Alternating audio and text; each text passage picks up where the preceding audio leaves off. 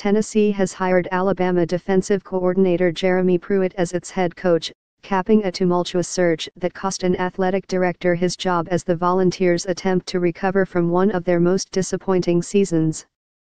The school scheduled a news conference for 6.05 p.m. Thursday to introduce Pruitt. Pruitt's hiring comes six days after former Tennessee football coach Phillip Fulmer was named athletic director and put in charge of the coaching search. Fulmer took over for John Currie, who was suspended just eight months into the job as Tennessee investigates whether it can fire him for cause. Pruitt replaces Butch Jones, who was fired November 12 after going 34 to 27 overall and 14 to 24 in Southeastern Conference competition in 5 seasons. Tennessee went 4 to 8 this season and set a school record for losses. 6 days ago, I mentioned several attributes that I sought to find in the next leader of our football program, and Coach Pruitt meets all criteria, Fulmer said in a news release. I am certain he appreciates the unique opportunity to lead a program of Tennessee's caliber. He's driven to win at the highest level. He will honor our university's values, operate with integrity and be a role model for our student athletes.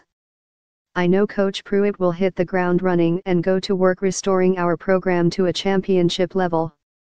Knoxville radio station WNML first reported that Pruitt had accepted the job.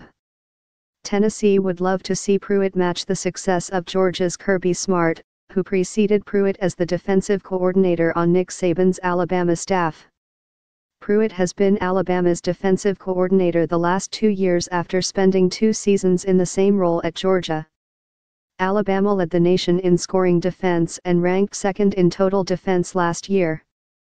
This season, Alabama again leads the nation in scoring defense and ranks second in total defense. Alabama topped the nation in run defense last season and ranks third in that category this year. Tennessee's run defense ranked 125th out of 129 football bowl subdivision teams this year.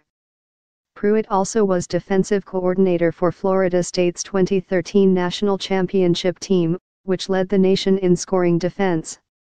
He worked an initial stint on Alabama's staff from 2007 to 12, when he helped the Crimson Tide win national titles in 2009, 2011, and 2012. The former defensive back played collegiately at both Middle Tennessee and Alabama. In the 2013 and 2016 seasons, Pruitt was one of five finalists for the Broyles Award given annually to the nation's top assistant coach. The selection of Pruitt ends a coaching search that had become embarrassing for Tennessee as it dragged on. Tennessee was close to hiring Ohio State defensive coordinator Greg Schiano on November 26 before that deal fell through amid a public backlash. Reports linked Oklahoma State's Mike Gundy and Purdue's Jeff Brohm to Tennessee's vacancy, but both stayed with their teams. North Carolina State's Dave Doeren agreed to a contract with the Wolfpack on Thursday after speaking with Tennessee officials. Currie met last week with Washington State's Mike Leach and was forced out the next day.